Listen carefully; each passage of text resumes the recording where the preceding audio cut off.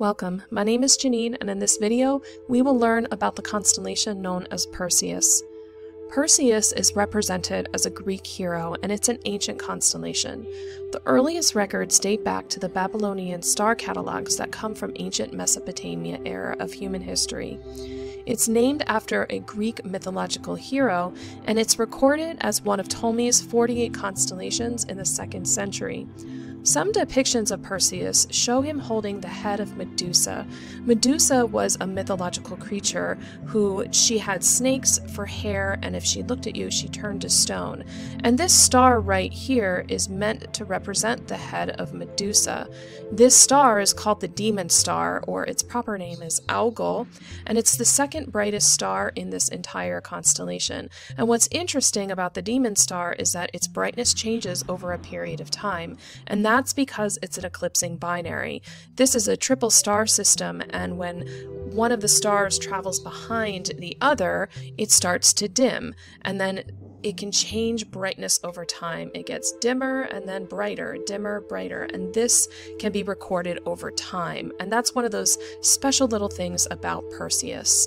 You can also learn to identify it through the star clusters, like one right here and here as well. So, when can you see it and what does it look like?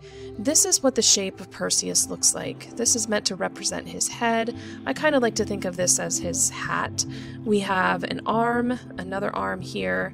These are his legs, and then this is his torso. If you notice, the hat portion kind of points towards this double star cluster, and that's one of those features of this constellation. So when can you see Perseus? Perseus is best seen in the northern hemisphere during the autumn months and into the early winter months. You want to look for those star clusters that are nearby to Cassiopeia and Auriga. So Auriga would be on this side of the constellation, and Cassiopeia would be over here. In between those two constellations, that's when you want to look for those different star clusters that are littered throughout this constellation. I've also used the Pleiades star cluster to find Perseus as well. The Pleiades is a really recognizable star cluster that's in the constellation of Taurus. There are many variations of this star pattern as well, and this is true for some other constellations as well. So, as you look at different resources in books or online, just notice that the pattern of Perseus can vary. Let's review the pattern that Perseus makes across the sky. Here we have the official star map of Perseus released by the International Astronomical Union.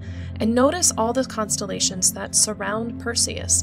We have Andromeda, there's Triangulum, Aries, down here is Taurus, and this feature right here is the Pleiades, and I often use the Pleiades to help me find Perseus. There's also Auriga, and it has that very bright star known as Capella. So if you can find Auriga, and you know where Andromeda is, Perseus is in between the two. There's also Cassiopeia right here, which you can use as a pointer towards Perseus. Also, there are some interesting celestial objects to notice here. This right here is a double star cluster, so I often see this whenever I'm viewing Perseus. There's also some other objects here as well, and two brighter stars, which we will examine as well. Also notice the shape. Here's his head. He kind of has two arms that go out. This is his body, and then his legs as well. So let's get some practice with looking at some pictures. So as you look at this picture, what are the things that stand out to you? For me, I notice the star clusters, and a few of them as well. I notice this right here, this area right here looks like a star cluster, and then this down here. So let's work backwards. First, this is the Pleiades. This is one of the star clusters in Perseus, and this is the other double cluster I spoke of before. So if we were to point out the pattern, here we have the head with his little hat. He has an arm that comes off here. Here's his other arm, and then here are his legs, and then this is his torso. So remember, depending upon the resource that you're looking at, there's a wide variety of patterns I've seen for this constellation. So I often just refer to the official star pattern by the International Astronomical Union. But the way I kind of point out this shape is looking for this area right here. I kind of know this is like the center of his kind of chest area as well. And then I also view this star cluster as here. This down here is the Pleiades. Let's keep getting some more practice. So this is a similar picture. We're seeing some similar objects, maybe not everything, but close to it. Um, there's also the bright star Capella as well, which is part of the constellation Auriga. So which objects can you point out? Here is Capella, here's the Pleiades, and then here's one of those star clusters we mentioned, and then here is another one. This is the double cluster that's pretty easy to point out. And then these stars over here are Cassiopeia. And notice you can use this portion of Cassiopeia to kind of aim you right towards Perseus. So if we were to point out Perseus, this is what his pattern looks like in the sky. Kind of almost looks like a starfish to me in some ways. And the other constellations we have are marked here. We have Cassiopeia.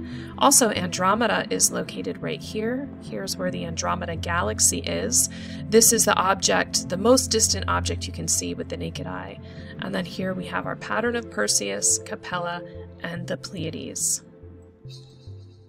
In our next picture, we can see how we can use Cassiopeia to help us find different objects in the sky, including Perseus. So Cassiopeia is located towards the center upper part of this photograph. It has a W shape to it. So here we can see this is where Cassiopeia is, right there. And Cassiopeia, this part of the W shape, points down towards Andromeda Galaxy, and then we have the Andromeda constellation here. But we can also use this portion. We can go from the center star, work our way outwards, and then we can find Perseus. Now, most of Perseus is pictured here, but not all of him. Here's that double star cluster, and then here's another star cluster as well. So remember, we can use this portion to help us point out the Andromeda Galaxy. The Andromeda Galaxy is the closest spiral galaxy to us at about 2 million light years away, and you can see it with the unaided eye. And if we were to point out all the other constellations here, this is what we have. So Cassiopeia points down to Andromeda, Andromeda is connected to Pegasus, and only a portion of Pegasus um, is what we're seeing here. And then Cassiopeia can point to Perseus, also notice Triangulum, a very simple constellation pattern. And then Aries is down here as well.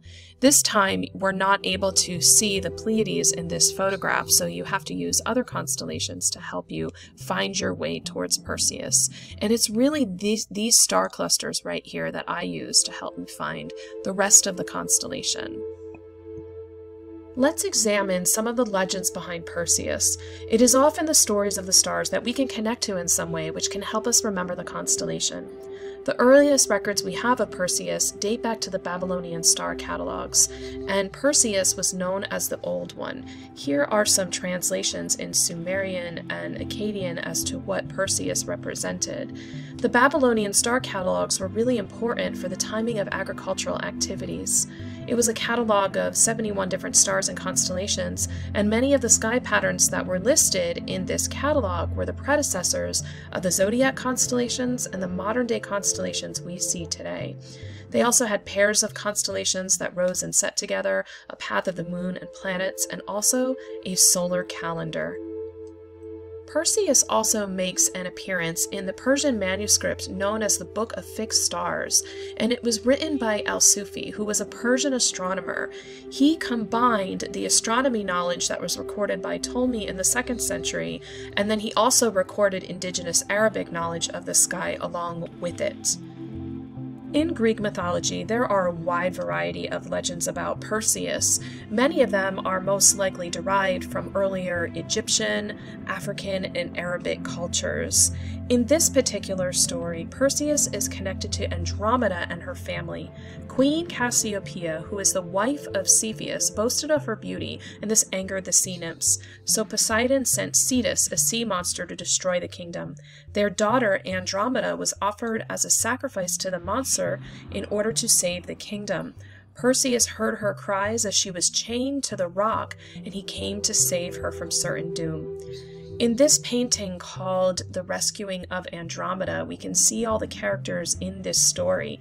We have Perseus, Andromeda right here. We have Pegasus, Cassiopeia, Cepheus. We have Cetus, the sea monster, and also the head of Medusa, which Perseus is often known for slaying. And all these characters can be found in the sky through the stars. There are a wide variety of other legends about Perseus being the son of Zeus and Danae. Then we also know of the different legends of Perseus slaying Medusa. And I won't go into the details of these legends because there are so many versions of them.